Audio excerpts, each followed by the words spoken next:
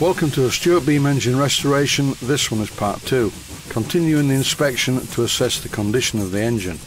With very fine adjustments to the valve timing in the first episode, I managed to get the engine to run without making much noise at a low speed.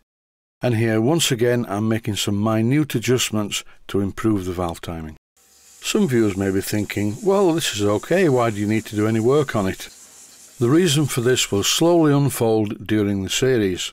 The good news is I contacted the owner of the engine and I've got the job of repairing it. I'm going to start the job by packing the glands. The stuffing glands on the cylinder and the steam chest are designed to prevent steam leaks from around the piston rod and the valve rod, but on this one there didn't seem to be much in the way of packing in either of them. This clip shows me packing the gland using some Teflon coated yarn. I use Teflon coated yarn these days because I do not like the modern graphited yarn. I think the old type of graphited yarn that we all know and love probably contained asbestos, so that's why it was changed.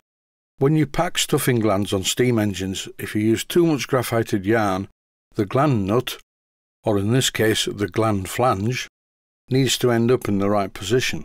For two reasons, the length of the bolts, plus if the top part of the gland nut is too high, it's going to collide with the part on the end of the piston rod. That's why you've just seen me unwind part of the gland packing and cut it off with a pair of cutters. To hold this flange in place I'm fitting some proper studs I can't be doing with the small bolts they just don't look right. These are genuine Stuart studs and are designed for the job as you can see.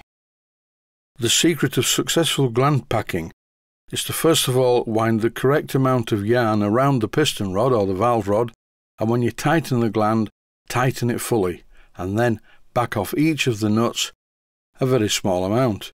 If you put too much pressure on the gland packing, in turn the gland packing will put too much pressure on the piston rod and this, believe it or not, will score the metal of the piston rod, owing to there being too much friction between the piston rod and the valve packing. Also, don't forget that these studs are only 7BA, so you mustn't put too much pressure on them when you're tightening the nuts, otherwise they will shear off. As you've just seen on screen, I finished the job, I ran the engine and poured some oil around the top of the flange and it didn't leak. The piston rod gland was originally held in place by two small hexagon bolts, and the gland on the valve chest, which leaks badly, is held in position using two brass dome head screws. I removed both of the screws and gently prised the flange out of the way.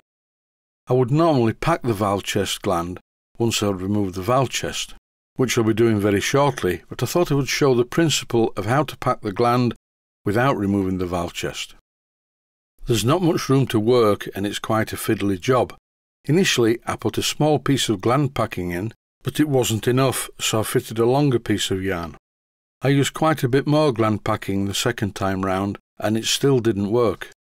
The reason for this will be that the hole that goes through into the steam chest has been drilled too big for the diameter of the valve rod. And if I carry on adding more packing and tightening the flange, what's going to happen is the packing at the bottom will start to be forced through the gaps in the hole into the steam chest.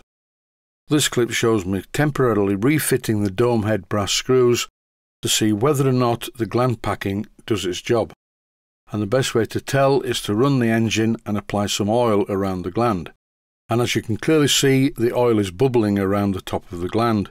So this hasn't been successful and I will give it some proper attention when I dismantle the steam chest. As an experiment I fitted even more Teflon coated yarn. Will it be okay this time? I really doubt it.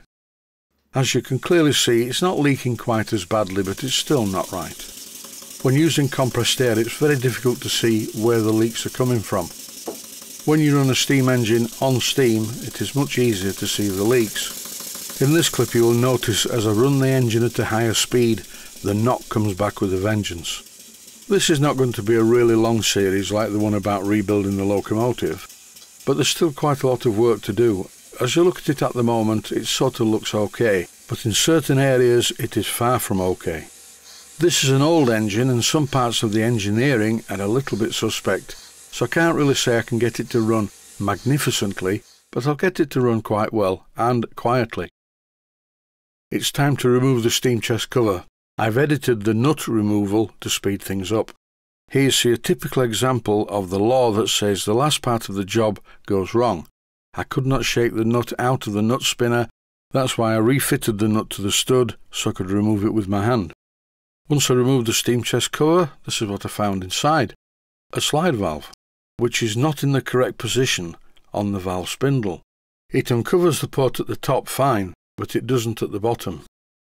Part of this is to do with the operating mechanism, because the primary operating arm, at the left-hand side of this image, is loose on the shaft. This is something that's worth remembering. You can't remove the steam chest on one of this type of Stuart beam engines with the cross shaft in position.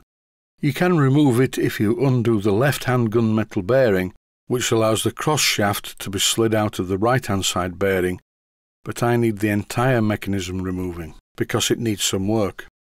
Here's a close-up shot with the mechanism out of the way and as you can see the port face is in quite good condition, which is more than can be said for the valve. This middle part is supposed to be milled out to a certain depth and like this it's a bit uneven and a bit shallow. I'll probably do something about that. This part of the system is not good. The operating arm on the shaft wobbles about because the bolt that originally held it in position had sheared off. To drill out this very small broken bolt, I'm using my very small drilling machine. This is a Proxxon motor tool drill press and it's a very useful thing to have in the workshop for very fine drilling operations.